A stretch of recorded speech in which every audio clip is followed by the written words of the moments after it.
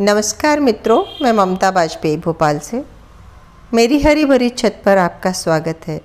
लीजिए मैं फिर हाजिर हूँ नए वीडियो और नई जानकारी के साथ। आप देख रहे हैं इंडियन टेरिस गार्डनिंग आर्ट। और आज चलिए स्ट्रॉबेरी के बारे में बातें कर लेते हैं। शुरू में एक दो बार ये रिक्वेस्ट आई कि आप स्ट्रॉबेरी पर वीडियो बनाइए। तो मैं बहुत तो नहीं लगाती हूँ, पर मैं दो चार गमले लगा लेती हूँ और उसमें थोड़ी बहुत स्ट्रॉबेरी निकलती भी हैं। आप ज़्यादा लगाना चाहें तो लगा सकते हैं, बहुत आसान है ये उगाना। तो इनको कब लगाना चाहिए? कैसी मिट्टी चाहिए? कितनी सनलाइट चाहिए? क्या केयर होती है? मैं क्या क्या करती हूँ, वो मैं आपको बताती हूँ। तो वैसे ये ठंडे प्रदेश का पौधा है तो हमारे यहाँ जब ठंड पड़ती है, हम उसे तब लगाएँ तो बेहतर है। यानी कि अक्टूबर में लगाते हैं हम इसको। सितंबर लास्ट वीक से अक्टूबर में लगाना शुरू कर देते हैं और फिर ये हमें फल देती रहती है। लंबे समय तक चलती है। अभी देखिए, मार्च चल रहा है और ये अभी भी फल रही है। अगर इसको ठंडा माहौल मिलता रहा तो ये लगभग पौधा तो पूरे ही साल बना रहता है और फल भी देती है। लेकिन जो सर्दियों में बहुत अच्छी फ्रूटिंग होती है। मिट्टी की बात करें इसकी तो इसको मिट्टी भुरभुरी मिट्टी चाहिए वेल ड्रेंड और अच्छी खाद भी चाहिए।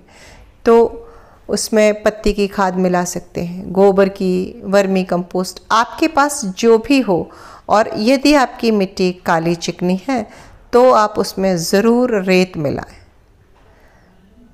अगर खाद अच्छा होगा तो फ्रूट के साइज़ भी अच्छे बड़े होंगे। देखिए कितना बड़ा फ्रूट लगा है ये। हालाँकि मेरे यहाँ ये होता है कि चिड़ियाँ कबूतर आके खा जाते हैं, स्ट्रॉबेरी बचती नहीं है, बहुत कम खाने को मिलती है। और आप इसमें ये पत्ते लग पड़े देख रहे हैं, ये मल्चिंग है। तो जब भी स्ट्रॉबेरी का फल अगर मिट्टी से टच होता है तो वो ख़राब हो जाता है। वैसे तो नेचुरली इसका फल जो है ना, गमले के बाहर लटक के फलता है। देखिए, इसमें लंबी सी डंडी होती है और उसको हम अगर थोड़ा सा सहारा दे के लटका दें तो वो बाहर लटक जाता है। और अगर आपकी ट्रे में या पॉट में है तो आप उसमें ऐसी मल्चिंग ज़रूर करें। सर्दियों में तो इसे फुल सनलाइट चाहिए। लेकिन अगर गर्मी वगैरह है तो हम इसे नेट के नीचे रख सकते हैं। जहाँ रख रहे हैं, वहाँ बहुत सारे पौधे इकट्ठे एक साथ रख देंगे। तो तेज़ गर्मी में भी ये पौधों के झुंड के बीच में फंसी रह जाएँगी और ये आराम आराम से पूरी साल चल जाएँगी। जब इसको दोबारा लगाना हो तो जिस तरह से शेवंती में रनर्स निकलते हैं ना साइड से पौधे निकलते हैं इसमें नीचे से रनर्स निकलते हैं लंबी टहनी निकलती है उसमें एक छोटा सा पौधा बन जाता है और उसी को काट के या उसमें रूट सी ए, एरियल रूट होती हैं उनमें हम मॉस ग्रास या थोड़ी खाद मिला खाद की पोटली बना दें तो भी नया पौधा बन जाता है। या हम उसकी कटिंग लेके लगा दें और ये काम भी हम ठंड में ही करते हैं। बरसात के जाते जाते भी कर सकते हैं। मतलब एक से अनेक पौधे एक ही पौधे से बन जाता है। आप एक साल एक स्ट्रॉबेरी ख़रीद के लाए हैं, लाएँगे तो आपके साल दर साल वो चलेगी।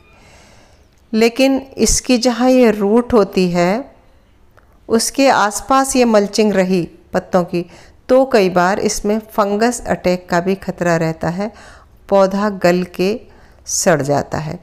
इसमें और ज़्यादा कोई बीमारी नहीं लगती।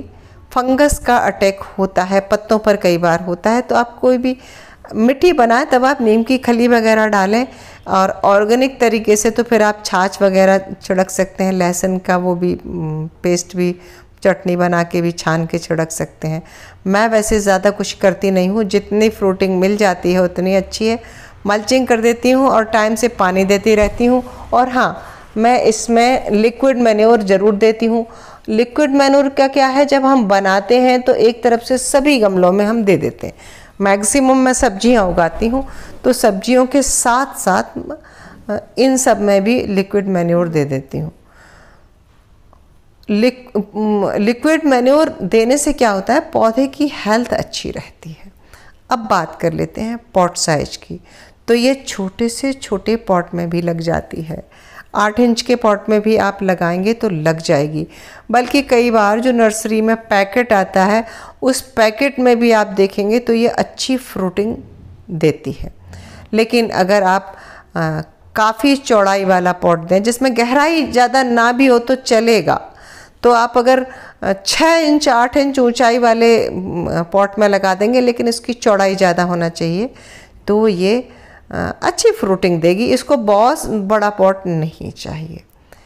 तो एक बार मैं फिर से रिपीट करती हूँ, मिट्टी वेल ड्रेन चाहिए, पॉट छोटा चल जाएगा आठ इंच तक का। सनलाइट सर्दियों में फुल चाहिए, गर्मियों में सेमी शेड में हो जाएगी, और रनर से इसका डेवलपमेंट होता है। और मुझे उम्मीद है कि आप भी उगा पाएँगे स्ट्रॉबेरी। आप लगाइए, बहुत आसान है। स्ट्रॉबेरी उगाने में बिल्कुल भी कोई दिक्कत नहीं है। और वीडियो अच्छा लगा हो तो लाइक भी कीजिए, शेयर भी कीजिए, सब्सक्राइब तो मुझे कर ही लीजिए। मिलते हैं अगले वीडियो में। तब तक के लिए नमस्कार।